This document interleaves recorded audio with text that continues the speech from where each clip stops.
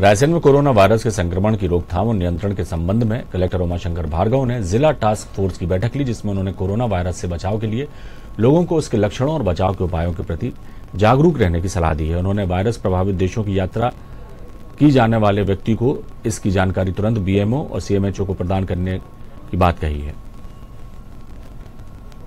मंडीदीप और सांची में हमने दोनों जगह सांची जहाँ दर्शन करने जाते हैं, वहाँ पर डॉक्टर्स की ड्यूटी लगा के रखी है एयरपोर्ट से हम जानकारी लेते हैं।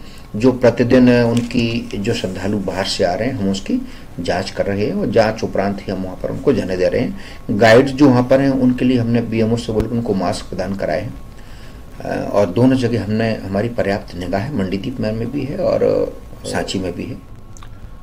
मुख्यमंत्री कमलनाथ के आदेश के मुताबिक मिलावटखोरों और विभिन्न तरह के माफियाओं के खिलाफ अलग अलग विभाग संयुक्त कार्रवाई कर रहे हैं। ऐसी एक कार्रवाई मसाला कारोबारी के खिलाफ इंदौर नगर निगम, खाद्य विभाग और इंदौर क्राइम ब्रांच ने संयुक्त रूप से की। कार्रवाई के तहत बड़ी मात्रा में अनियमितताएँ पाई गई, जिसके बाद फैक्ट्री संचालक के खिलाफ कार्रवाई की गई है।